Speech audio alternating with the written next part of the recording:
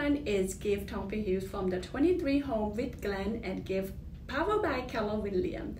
As everyone know, we are faced into a very difficult time with coronavirus and first I wish everyone stay safe and healthy. And um, we all know about the downside of the virus, we don't have to mention that. But the good side and the opportunity of that is the interest few few weeks ago, right, Bill? Yep. The interest rate had dropped so much, and personally, uh, me and my client, many of them, right, t- uh, jump into the right time, and we bought a home.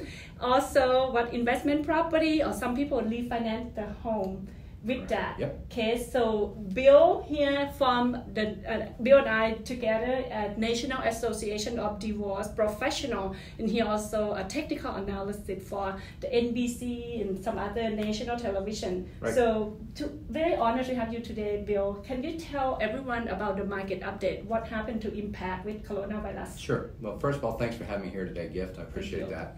Uh, and it's great to be able to share uh, the technical side of the market with uh, your clients Yes. uh, and friends. So uh, basically, what happened a couple weeks ago, we, we literally reached the all-time lows in interest rates on the conforming loans uh, amounts. You know, below 500, uh, we were down to 3.25, the all-time low, uh, and that's a great thing. That's a great thing. Yes. Unfortunately, as a result of that, the the uh, lenders got overwhelmed. Uh, it's called capacity, Mm-hmm. so they reached uh, beyond capacity. Uh, and to give you put that in perspective, Yes. uh, we already shared this, but I want to share it with them too. Is uh, last year we set a record in the mortgage industry. We did two trillion dollars worth of loans. two, t- two trillion. Yeah, with a T, right? Last Yeah, year. yeah. Yes. And so this past month, when the rates got down to the all-time lows, there's three trillion in this month One month. in one month. Oh wow, Not three trillion in in, the- in one month. month. Yeah. So it's gotten out of control, and they literally cannot uh, handle the volume. So, Yeah. uh, unfortunately, uh, as a result of that, the only way to stop loans from coming in is to uh, artificially, and it's, that's a key word, it's artificially, this isn't where the market is right now, but artificially have to raise rates so that people will stop coming in for refinancing.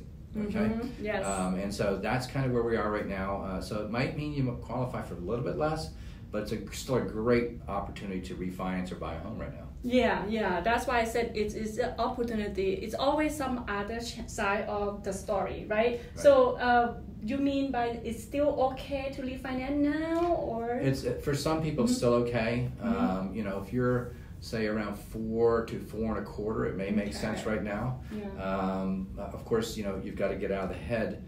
uh, All the people who on the on the media Right. heard the three and a quarter rate, Right, you know, right. and that may come back. Uh, but I think it's probably going to be maybe about five weeks or so before the, all this volume is shed off of their books, Mm-hmm. um, and, and maybe even slightly lo- longer than that.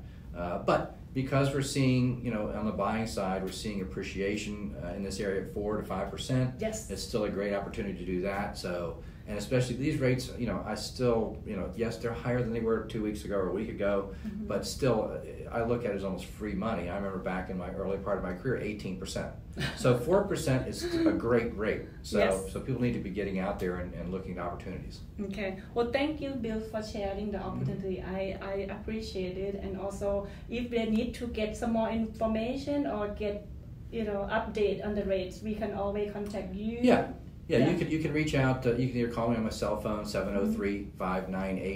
703-598-4198 uh, or send me an email. First initial last name so it's B B U R N E T T B Burnett at Mortgage Digest all spelled together D I G E S T dot com.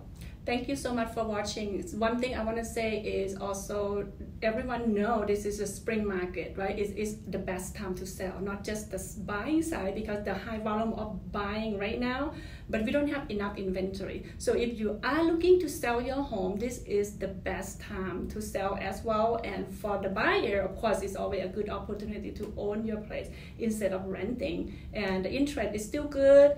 So let us know if you need any help. We can set up a private um, meeting with you, and we can go from there. Absolutely. Yeah, Stay yeah. safe and healthy, everyone.